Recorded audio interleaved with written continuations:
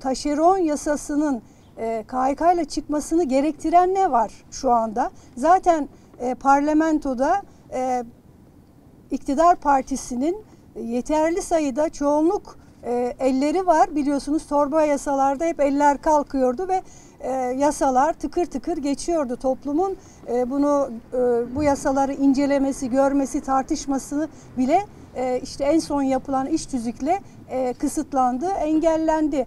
E, burada e, taşeron yasasını KHK ile çıkartmanın altında yatan şey aslında e, bu e, rejimi bir OHAL rejimi olarak sürdürme kararlılığının işaretini e, bize gösteriyor ve biraz da bu e, yöntem yönetme şeklini de e, güzelleştirmek, güzellemek istiyor. Bugüne kadar yaptıkları açıklamaların taşeronların diğer işçilerle eşit bir şekilde ve güvenli çalışma koşullarına kavuşacağı yöndeki açıklamaların hiçbiri gerçekleşmedi.